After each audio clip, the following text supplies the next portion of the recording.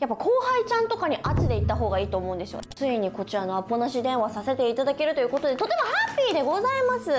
お金をお貸ししていただけるとしたらおいくらまで可能なんでしょうか？えー、いくら？